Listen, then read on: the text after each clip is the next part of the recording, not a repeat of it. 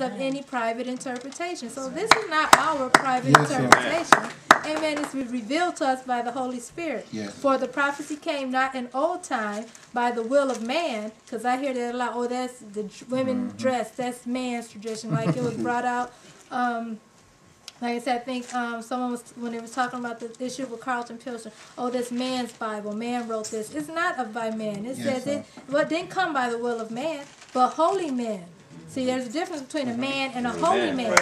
Holy men of God spake as they were moved by the Holy Ghost. Yes, if you don't have the Holy Ghost, there's no need for you trying to preach this word because you're not moved by God to preach it.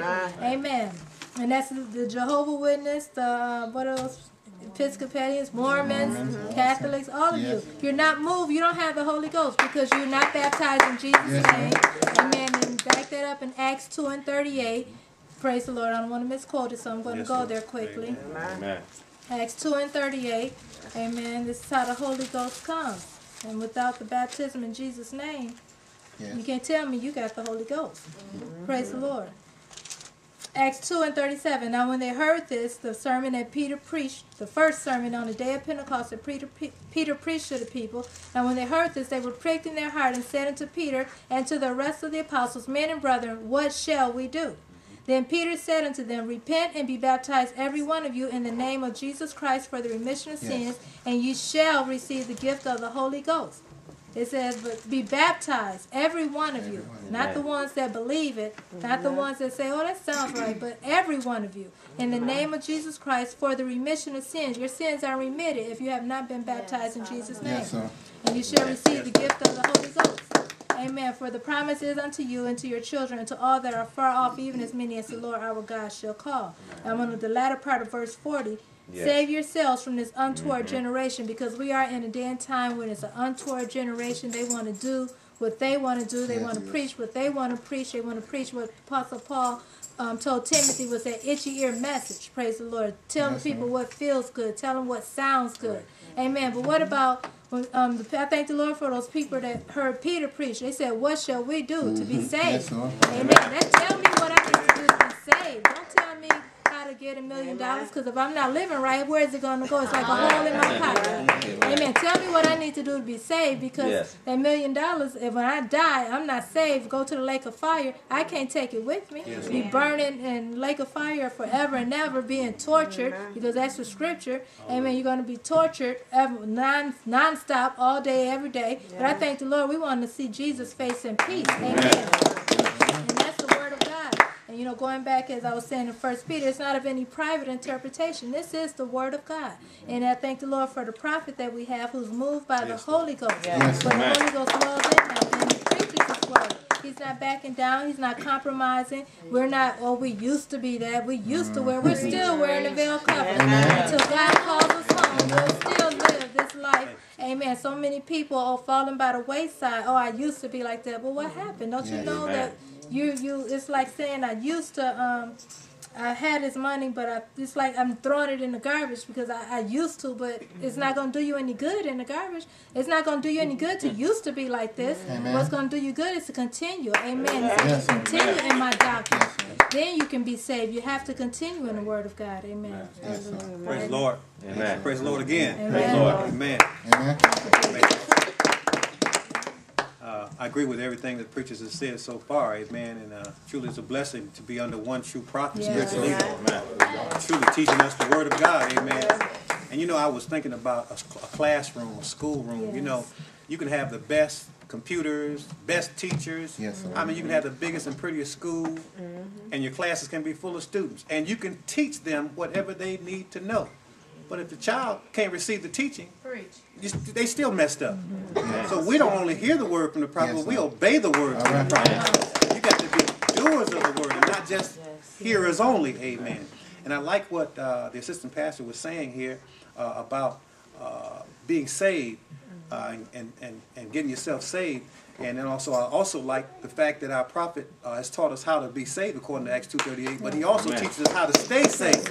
I mean, you got to, you get saved, that's good. See, this, this preacher's going to talking about one saved always. First of all, they not saved themselves. If you don't uh, repent and be water baptized in the name of Jesus Christ, how can you have your sins remitted? You still have your old sins on you. And ain't nobody gonna see Jesus face in peace with your old sins on. Amen. Nobody. Only T.D. Jakes. Who is he? Amen. If he's ain't been water baptized, and if he has been water baptized in Jesus' name, how come he don't, don't have the spirit of truth? Amen. Well, let's turn to the spirit of truth real quick. Find out In the book of St. John. Yes. I believe it's uh, the book of St. John. I believe, thank you, sister. I think the six- 16th chapter. Uh, well, let me see. And 13. It says, Howbeit, when he, the Spirit of truth, is come, talking about Jesus. Jesus said, I'm going to come back to live with you. Amen? Amen. is come, he will guide you into how much? All truth. You telling me you got the spirit of truth and you celebrating Christmas and Jeremiah 10, 2 through 4 said that uh, it's an abomination unto God? Amen. Let's read it real quick. I know Christmas, it ain't Christmas season, but it's still a sin. Amen. And folks is doing it. Matter of fact, I heard somebody tell me, say, you, I can't do without Christmas. Well, you can if you want to go to heaven. Amen. because God has condemned it. Why would you want to do something that God has condemned? I'm going to just read the latter part of this. Uh, you say you got the spirit of truth, but your church is still celebrating a pagan festival. Amen. Uh, I'm going to read uh, verse 3. It says, For the customs of the people are vain. For one cutteth a tree out of the forest. You got to be kidding me. you don't think that's a Christmas? Come I'm going to finish it Amen. the works of the hands of the workmen with the axe. They deck it with silver and with gold, and they fasten it with nails and with hammers, that it move not. They took a tree out of the forest and brought it into their house and their church Alright. and put stuff on it so you could see it mm-hmm. and glamour it and glorify it. God says it's an abomination to him. Amen. That means he detests it. He hates it. But y'all love it. I used to love it. I used to have the lights. I remember my prophet was talking about some of that, some of that, some of that stuff. But when God delivers you, how, what are you gonna do? Stay where you are at? No, you got to be converted. Yeah. We're talking about conversion. We're talking Yeah. about the true church. And I'm gonna tell you right now, I think every, I know, I think, I know everybody in true life. Glad we ain't no pagan worship. I'm glad we ain't no idolatry. My goodness. Thank you, Jesus. Hallelujah. Amen. Praise Amen. God. Hallelujah. Amen. God Praise the Lord. I thank God for all the input, and uh, you just see it's a blessing to be underneath the prophet where you have the knowledge to bring out the preaching. And uh, I just want to hit on this issue about women preaching because this is the issue that, that split the, the PAW, the Pentecostal churches, years ago, and there still is a contingent of people going around saying a woman can't preach. But I'm going to show that that's foolishness, and I'm going to prove that that preacher ain't nothing but a first class hypocrite. Let's go to 1 Timothy chapter 2, verse 11. Let the woman learn in silence with all subjection.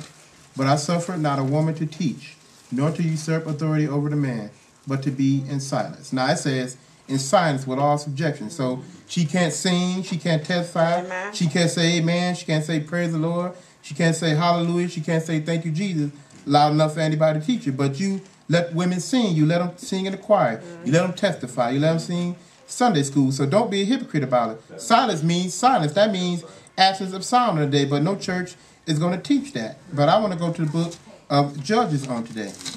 We gonna go to a woman who is anything but silent, and I'm gonna show you where a woman usurp authority over a man. God can call whoever He wants, whenever He wants, to lead His people on the day. How you think a donkey gonna speak, but a woman can't? Nah, that that chauvinistic spirit. You need to take it back to the lake of fire on the day. Amen. Judges 4 and 4. And Deborah, a prophetess. Now, prophesying, that means either retelling the past event or foreshadowing a future occurrence. It's still preaching. When you sing, whenever you tell somebody something about Jesus, that's preaching on the day. She judged. Judge means rulers. Do you know what judge means? That means ruler. And she wasn't chose by a deacon board. She was chosen by God. God chooses the prophet. God chooses the spiritual leaders on the day. And she dwelt under the palm tree of Deborah between Ramah and Bethel and Mount Ephraim. Yeah. And the women in Israel came to her for judgment. No, it said the children. That's man and women. They came to her for judgment, for wisdom. So she told the man, "No, you can't do that." Then the man couldn't do that because his ruler was a woman on the day chosen by God. Hallelujah. Now, I guess man's supposed to be so strong and so macho, but I'm gonna show you about this cowardly man, Barak. And she sent and called Barak, the son of Abinoam, out of Kedesh Naphtali, and said unto him, Have not the Lord God of Israel commanded?